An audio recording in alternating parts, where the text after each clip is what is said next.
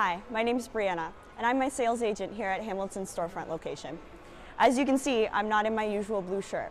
Come find out why.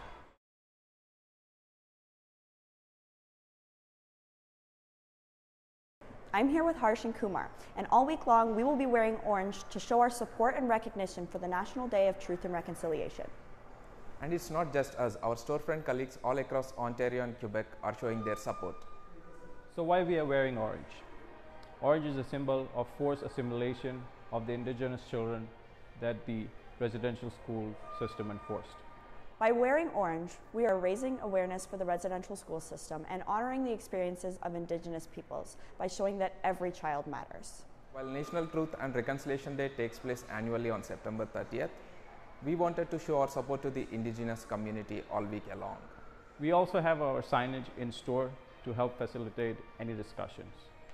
So we hope you will join us this week by showing your support and wearing orange, especially on Friday, September 30th.